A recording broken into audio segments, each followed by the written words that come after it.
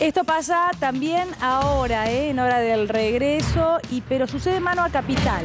Esto que están viendo es la autopista 25 de mayo, mano a capital, a la altura Medalla Milagrosa, un choque entre una moto y una camioneta, una moto de la policía de la ciudad, la que ustedes están viendo ahí. Ahí el paneo nos permite ver dónde, ¿no? A, qué altura. Eh, les decía que una moto de policía de la ciudad y la camioneta de migraciones que chocaron allí en la autopista.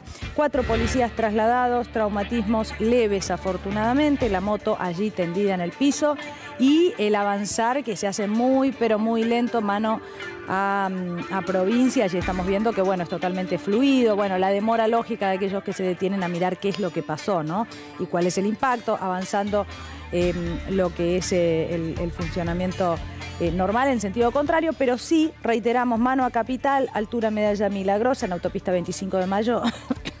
Está sucediendo lo que vemos, ¿eh? la demora es importante, es importante.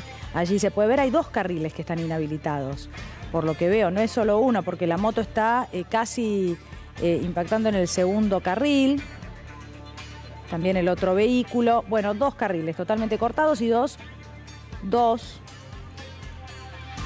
Sí, son dos más. Dos en los que se permite avanzar, eh, pero muy lentamente. Así que atención, eh, eh, ahí están las cámaras del diario de C5N mostrándoles en horas del regreso. Pueden regresar normalmente, todos que quieran hacerlo, pero en esta tarde también es noticia esto que estamos viendo, un choque con heridos, cuatro policías que fueron trasladados con traumatismos leves, afortunadamente leves, pero que tuvieron que ser trasladados para ser atendidos en centro sanitario.